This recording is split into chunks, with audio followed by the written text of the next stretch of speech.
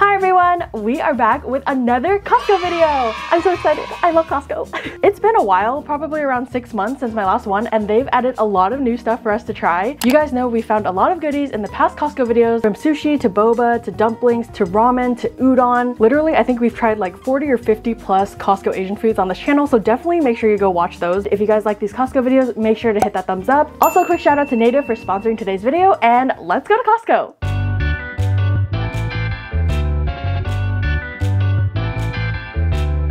Spotted samples, so we are on our way.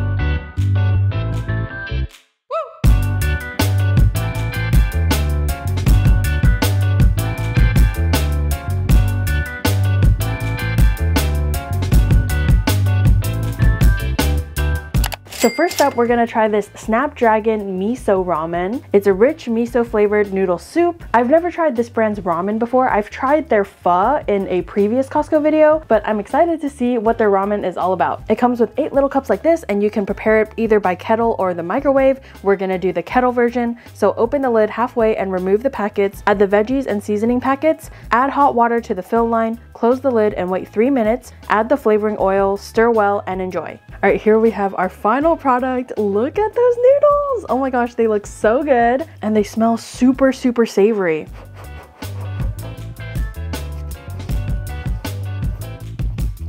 Whoa, the noodle texture is so interesting. It's like fluffy, kind of springy, but also very soft at the same time. So interesting. I personally like my ramen noodles to be chewier, although of course this is instant ramen, so usually it's harder to achieve that texture. But yeah, even these do have like some sort of satisfying slurpability to them. I will say though that these noodles don't really do a great job of soaking up that flavor of the broth. So let me try some of the broth on its own. Hmm, it has a good amount of flavor. You definitely get a savory umami flavor to it. I wouldn't necessarily say that it tastes super like miso though. It just tastes like a savory broth. Overall for this one, I don't know if I'd get it again. I mean, there's so many different instant noodles that you can get at Costco, so this one wouldn't stand out to me as one that you have to get. However, I did pick up another ramen for us to try. This is Nongshim's Tantan Men Ramen with Chili Oil. I personally love Nongshim. Shin Ramen is one of my favorites, and I remember when we tried their tonkotsu one, it was pretty good. It comes with six of these bowls and you can either prepare it in the microwave or using hot water. So we open the lid halfway, remove chili oil packet and add soup base. Pour hot water up to the inside line. Close the lid for four minutes, stir in chili oil and serve. All right, here we have our prepared Nongshim Tantan Men and the noodles look so springy. Look at that. Actually, I want to try this thing I saw on TikTok where you take the lid of the ramen and you fold it in half and then you fold it again into quarters. So then you can grab some of your ramen and you can use it as a little bowl while you slurp your ramen. Mmm. Wait, why is that actually so genius? I love this. These noodles have more of a chew and a bounce to them than the previous ones, although they are kind of soft and spongy too. These do a decent job of picking up the flavor of the broth, and it definitely has a little bit of a kick. I wouldn't say it's as spicy as Shin Ramen, like the red packet, but I do get a chili oil flavor in here for sure. Let's try some of that broth. Mmm, yeah, it's so warm and comforting, and it is very flavorful. I do get like a savory umami flavor in here as well.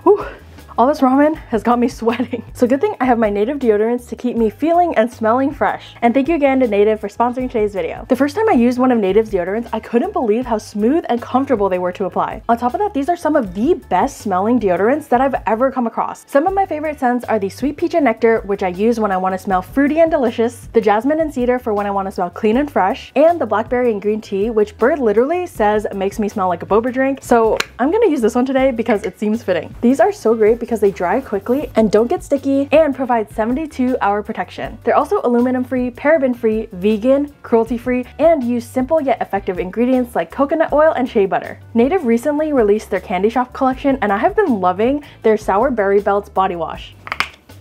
Oh, It smells so good. It literally smells exactly like the candy, and we all know that blue candy is the superior candy. So check out Native with the link in the description and use my code MEIMEI for 20% off your first order. This discount is only available for a limited time, so make sure to click that link below. Next up, we have this Bibigo Korean style crunchy chicken with sweet and spicy sauce. So first we set the air fryer to 390, remove frozen sauce pouch and warm up in a bowl of hot water. Place chicken inside air fryer basket in a single layer. Cook chicken in air fryer for 16 minutes. Remove and let stand for one minute. Place chicken into a bowl and pour sauce over top and toss until lightly coated. Okay, we have our Korean crunchy fried chicken. Literally the aroma of the chicken filled the entire house. It smells absolutely amazing and the chicken sounds so crunchy. Do you hear how crispy that sounds? I literally can't wait any longer. Let's give it a try.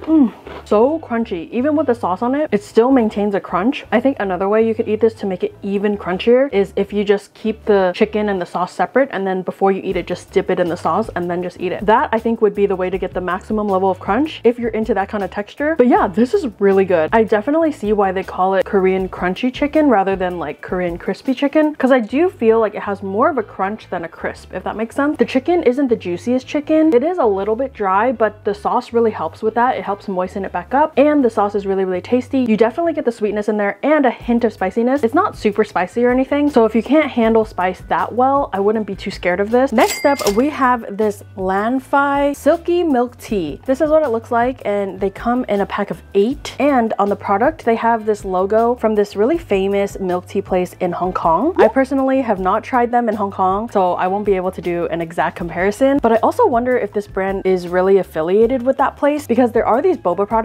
that try to affiliate themselves with a famous boba place when they're not actually affiliated. It's like some kind of tricky marketing thing. So yeah, I'm not 100% sure if it really is affiliated with the Hong Kong place. But regardless, we're gonna give it a try, see if it's any good. And on here, it says it's best served cold. So I have a little cup of ice. And then of course, we're using our Mei glass boba straw. Link will be in the description as always. Let's give this a good stir. Honestly, not terrible. It does taste very much like Hong Kong style milk tea because it does have a pretty strong tea flavor and then you get that flavor of the condensed milk. It's also not too sweet. Like a lot of the times these canned boba products or bottled boba products, they're like insanely sweet, but this one, it's not too sweet. And I think what really helps it too is that it has such a strong tea flavor. You know, I do have to say though, the more I drink it and the more the ice melts, the more diluted it's becoming and less strong on the tea flavor. So I think the best way to drink this is to stick them in the fridge. That way they're already cold and then you don't have to add ice and then you'll still get a really strong tea flavor. I had quite low expectations as I usually do when we try these instant boba products and things like that. And you guys know I have tried so many of those. Some of them have worked out, some of them haven't. But yeah, for like an already made drink that you can just open up and drink it right away, this is not bad. And this would actually be really good with some boba too. Next up, we have these Portuguese egg tarts. And I know, I know, Portugal is not in Asia. Don't come for me yet. However, although they are different to Hong Kong style style egg tarts. Portuguese egg tarts, also known as po tat, are still really popular in some parts of Asia, such as Macau, and a lot of Asian bakeries also sell Portuguese egg tarts. One of my favorites being Mr. Bread in San Francisco. Their Portuguese egg tarts are always hot and fresh, literally chef's kiss. Also, how could I walk past these in Costco and not try them? I'm sure a lot of you guys are curious about them like I am, so I'm here to review them for you guys. On the box, it even says authentically made in Portugal, so I'm super excited. Oh my gosh, look at those egg tarts. These look absolutely beautiful and we're just gonna pop them in the air fryer. Preheat the air fryer to 375. Place the tarts in their aluminum molds directly on a baking tray on the middle rack. Air fry for 9 to 12 minutes or until desired crispiness. Remove the tarts from the air fryer and allow them to cool before you enjoy them. You guys, literally look how glorious these look. I cannot believe you can buy these at Costco and just pop them in the air fryer. I mean, I haven't tried them yet, but just by how it looks, how it smells in here, I'm freaking excited. Ah! Let's give it a try. Mmm. Wow, it's so incredibly flaky. Has a really nice crisp on the outside. The crust is just like perfectly light and crispy and flaky. It pairs perfectly with that creamy custard on the inside. Surprisingly, these are not too sweet. I expected them to be sweeter, but I'm actually pleasantly surprised because it's like a perfect amount of like light sweetness to it. Wow, I'm genuinely impressed. The flaky crust paired with that creamy custard in the middle is just a match made in heaven. This might be one of my favorite Costco desserts from the frozen section that we've tried. So needless to say, I'm super, super impressed by these egg tarts. Next up, we have this G7 3-in-1 Vietnamese coffee. And this is an instant coffee, so to enjoy it hot, you just empty one packet into a cup, pour 75 milliliters of hot water, stir well, and enjoy. It smells pretty strong from what I can tell, and the liquid is quite low, so I'm assuming that's because it's really, really strong like Vietnamese coffee usually is. So let's give it a try. Mmm. Oh, it's not bad. I mean, is it as strong as when I order Vietnamese coffee from like a coffee shop or a boba shop or a Vietnamese restaurant? I would still say no, but it is decently strong. It's just not as strong as those places. I'm also guessing if you want it to be stronger, you can always add less of the water. But yeah, it's not bad. It has a strong coffee flavor and it has a sweetness. Usually Vietnamese coffee has condensed milk as the sweetener and you do kind of get a subtle hint of that flavor. So yeah, this is not bad for like an instant coffee you can make in literally like a minute. To enjoy it cold, we empty two packets into a cup, pour 50 milliliters of of hot water and stir well. Add 100 grams of ice and enjoy. Let's go ahead and try the iced version. It looks pretty good. It's okay. The ones from the Vietnamese restaurants are definitely stronger, but I feel like this is a good option if you're just literally looking for something super easy, super quick. You need your coffee like right away. I feel like this is good enough. But of course, if you're looking for more of an authentic Vietnamese coffee, then I would recommend going to a Vietnamese restaurant or something like that. It's not as strong and sweet as Vietnamese coffee that I'm used to having, but it kind of gets the job done, you know? Next up, we're gonna try these Choco Churro turtle chips. If you're unfamiliar with turtle chips, they're basically like these little snacks that have four layers, which allows it to have this really really satisfying crunch. And I believe the original flavor of turtle chips is their sweet corn flavor, but I've never tried one of their dessert ones before, so I'm so excited about this. It literally smells like a bakery. It's like a sweet smell of chocolate and cinnamon together. You can see those four layers in there, and it looks like it's coated in some chocolate. Let's give it a try. Mm, oh my god. I may have just found my new favorite sweet snack. These are so good. They still deliver on that really satisfying crunch that turtle chips usually have, but also it has a very thin layer of chocolate. Originally, I thought they would just put like chocolate powder on it, but it actually has like real chocolate on it. But it's just the perfect amount, so that way it's not too heavy either. Like it's still really light and satisfying. That mixed with the cinnamon flavor too, it's literally the perfect combination. I like these ones better than the original sweet corn flavor. I'm telling you guys, if you see these Choco Churro Turtle Chips at Costco, definitely grab a bag or maybe two so good. Next up, we have this on the street foods kimchi fried rice with chicken. To heat it up, we preheat a non-stick pan on high, open kimchi fried rice pouch and empty contents into the pan, stir fry for three to five minutes or until hot and enjoy. All right, so here we have our bowl of kimchi fried rice and immediately I'm noticing that it has more of like a wet, maybe like sticky type of texture. Also, I always get questions on my wooden spoons, so I'll link them in the description box for you guys in case you're interested. I see lots of kimchi in here, as well as some chicken chunks, peas, peas, carrots. So let's give it a try.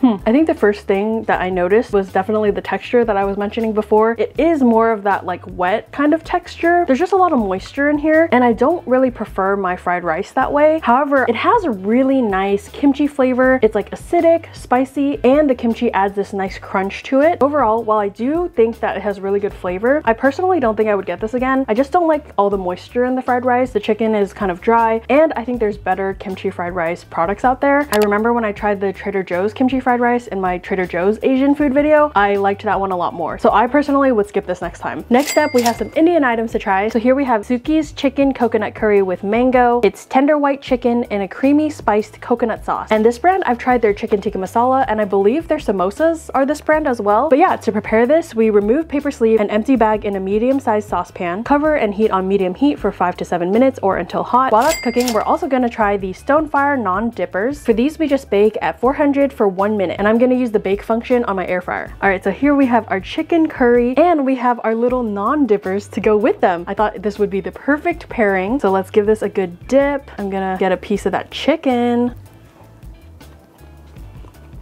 Mmm, wow, that curry is so flavorful. It's not really spicy, but it has so much rich curry flavor and the chicken is nice and tender as well. Sometimes when I buy these uh, already made chicken dishes, I worry that the chicken will be dry, but this, the chicken is so tender. Paired with that pillowy naan, they really balance each other out because the curry is just so rich in flavor. It's thick, it's creamy, and the naan is the perfect vehicle to soak it right up. I wasn't quite sure how I would like this because it says that it's a chicken coconut curry with mango, but I'm not really getting that mango mango flavor. So regardless, it is delicious. Next up, we have these Bibigo steamed soup dumplings, beef pho flavor. I'm speechless. I don't even know what to say. I've never had pho soup dumplings before, but pho and soup dumplings are two of my favorite things, so I'm so excited about this. They're juicy, savory dumplings filled with pho flavored broth, beef, and vegetables. And all you have to do is cut the corner of the bag, place the package directly into the microwave, and heat on high for two minutes. Let sit for one minute before removing from the microwave. Carefully open the bag. Enjoy dumplings with sauce on the tray or on a plate. All right, here we have our pho soup dumplings. Honestly, they do smell like pho. The smell is just getting me more more excited, so let's give it a try.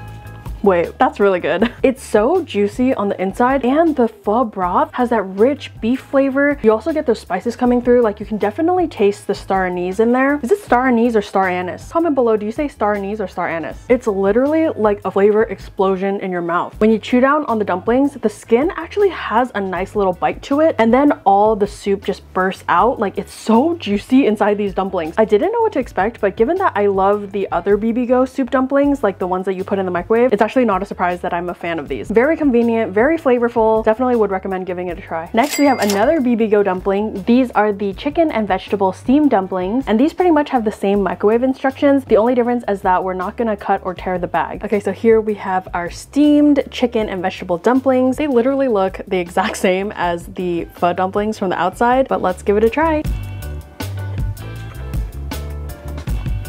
Mmm. Even though these aren't soup dumplings, they still have so much juice inside of them. Like maybe it doesn't have as much juice as the soup dumplings, but they are still mighty juicy inside. The chicken and vegetable filling is really nice. It has a savory flavor and you do get the flavor and the textures of the chicken and the vegetables in there. These are honestly really, really good too. I mean, I do think I still prefer the pho ones, but these are a close second. Run, don't walk to get these at Costco. They're so good. All right, so that's it for today's Costco Asian food video. Comment below what was your favorite item from the video and also let me know if there's any Costco Asian foods that I haven't tried yet that you want me to review. Don't forget to hit that like button because it really helps the channel out. And yeah, I'll see you guys in the next one. Bye!